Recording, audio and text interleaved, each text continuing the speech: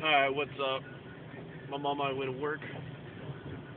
And, uh, just want to, uh, say that my proper crow eating video is coming to the Raiders. You know, we lost. But, you know, whatever. But, uh, yeah, I guess in the next day or two,